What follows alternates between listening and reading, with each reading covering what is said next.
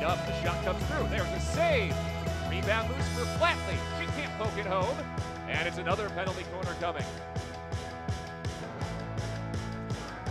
Joyce has not scored yet this year. And there's a save from Davies, denying the penalty stroke.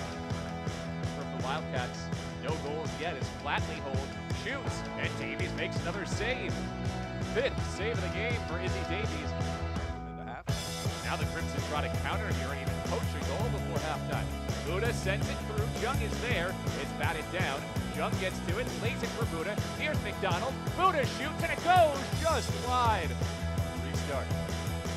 Played to a tight angle. Shot to traffic. Deflected in front by the Harvard defense. Rebound kicked away by Davies. She denied Flatley at the doorstep. Sent into traffic. Here's Flatley turning. Flatley in front. Shoots it. It's saved. Rebound is free.